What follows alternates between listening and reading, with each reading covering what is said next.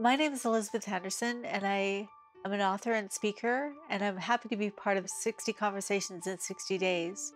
I have worked with the Schizophrenia Society for about 18 years and then started my own company, the Being Mentally Healthy Company. I've written a book, I have a website, beingmentallyhealthy.com, and I'm speaking for a living.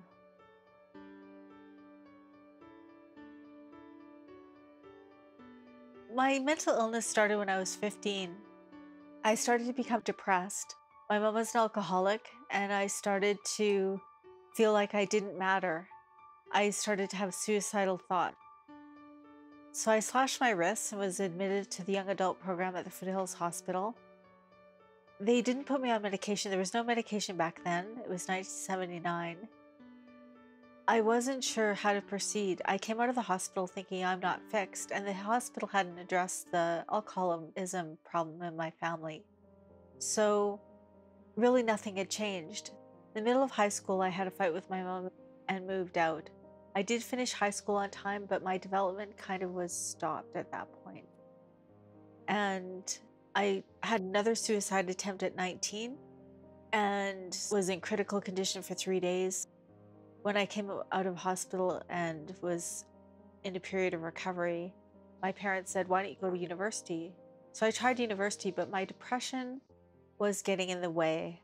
I couldn't go to class, I didn't trust anybody. I was depressed. I was sitting in my apartment alone with the semester ticking by. I didn't know what to do. I didn't realize that it was a mental illness that I was experiencing. So I didn't have insight in order to get help. The day that I got kicked out of university for too many F's and W's, I met my husband Wade. It turned out to be the best relationship of my life. He asked me to marry him. I said yes. I thought my depression was in remission. I thought I had it beat.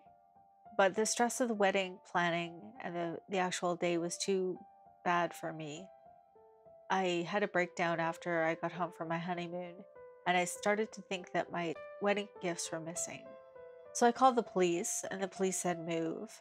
But we moved and we moved and we moved. Poor Wade just trying to keep his young bride happy because I was paranoid. I didn't want to go out. I closed the blinds, didn't want to look outside except for suspicious looking cars, which I occasionally watched the window for. Uh, I watched the door all the time, making sure nobody would come in. I lost a lot of weight. I thought my food was poisoned. I thought if somebody's coming in to steal our wedding gifts, they're probably poisoning our food too. A lot of symptoms. And then my best friend from childhood looked me up and saved the day. She took one look at me and, and realized I was psychotic. I had stringy hair, dark eyes, I'd lost a lot of weight, I wasn't functioning. And she told Wade to take me to the hospital. So he did that. He did that not knowing what would happen. He didn't know if he'd ever see me again. I got the diagnosis six weeks later, and it was a shock to me. The hospital put me in a goal group, three goals a day make my bed, do my dishes for my mom monumental tasks at the time. They've put me on medication. I had intensive counseling, CBT, which is cognitive behavioral therapy, and it worked. That's when I learned that I could be in recovery. I, st- I could recover from this. I had a guiding truth. If I was going to be well, it would have to be up to me. I uh, started to do what I call risklets. I just challenged myself every day to to be a little stronger, be a little better, do do what I can to be better. I had the same counselor for 10 years, so I had continuity of care. Had good psychiatry. I think that it's a multidisciplinary team that you need to get better. Cognitive behavioral therapy taught me that thoughts, feelings, and behaviors are connected. And so I really am experienced at managing my thought. And that can create a feeling and that can produce a behavior. So I try to manage my thoughts and be positive and forward thinking in my thought. And if it's negative, I deal with that, but I try to reframe it. So if I have a negative thing that I'm going through, I try to reframe it in a positive way. That's not to say there's not pain associated with schizophrenia. It can be painful, but living in that pain doesn't serve anybody. I try to be the best I can be and know that my thoughts, feelings, and behaviors are connected. When I reframe things, I feel better about them and then I try to take the next step. A little risklet, a little tiny baby doable step that makes me move forward. Some people call it a micro movement or baby step. But I just try to do something to make the situation better.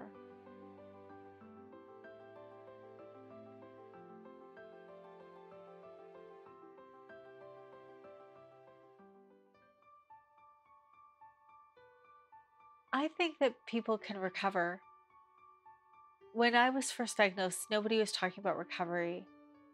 My belief is that you can be more positive if you believe that you can get better. And having a life that you like is my definition of recovery. As long as you're doing things that you like, that you have activities that make you happy, that you have relationships that are nurturing to you, you're growing and stretching a little bit each day and having a life that you like. I think that that's the best therapy. I want to erase the stigma. That's why we're doing this. Some people say the stigma is worse than the illness, and the illness is pretty bad. So you can imagine how bad the stigma is. So I've decided to be open about my illness. It's not appropriate for everyone. Everyone has to make their own decision about that. The reason that I chose to be open about it is I was part of the anti stigma campaign in 1998 with the World Psychiatric Association. Some research out of England came to the forefront and it said that the only way you beat stigma is by meeting someone who's doing well. At that point, I thought, well, the only way we're going to get rid of the stigma is if people like me are open about the illness and say it's okay. It's okay to have a mental illness. I believe that people can go back to what they were doing before they were so rudely interrupted or reinvent themselves. And that's what I did. And now I am stronger. People like me who have a mental illness are people, and they deserve a life that is meaningful. It's not a hardship to have a mental illness in a way. I think my problems suit me the fact that I'm getting better is not uh, an anomaly. There's lots and lots of people that are getting better. It should be front page news. One thing I want to make it clear it's been 20 years since I was diagnosed, so it's been a long journey.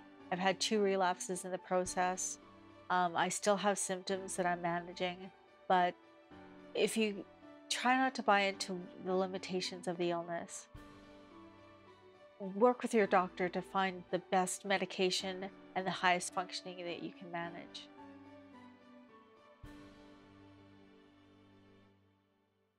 Yeah, so I, I wrote a book called Being Mentally Healthy in Spite of a Mental Illness. I think it's a paradigm shift. I think you can be mentally healthy in spite of a mental illness, even though you have a diagnosis. I'm speaking for a living, so I spoke in Chicago for the Forum for Behavioral Science and Family Medicine and I got a standing ovation from the doctors. They were really touched by what I had to say because I think people, medical professionals, sometimes forget that people can get better and have a great life. I met some psychiatric nurses when I was speaking at the LPN conference. That's one of the things that they said is we don't often see people who are doing well. We see them at their lowest point. And so to remember that recovery is possible and that people can rise up this. Yeah, it's it's interesting because it's a lifelong illness. There's no cure. So it's what I know. I've been sick since I was 15. I'm in my 50s now.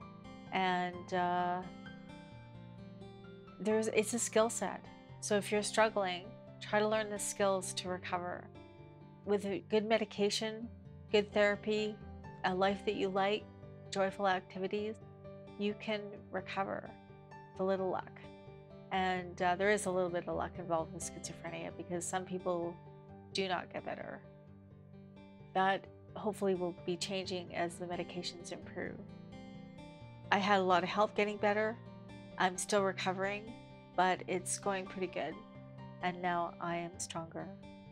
People like me who have a mental illness are people, and they deserve a life that is meaningful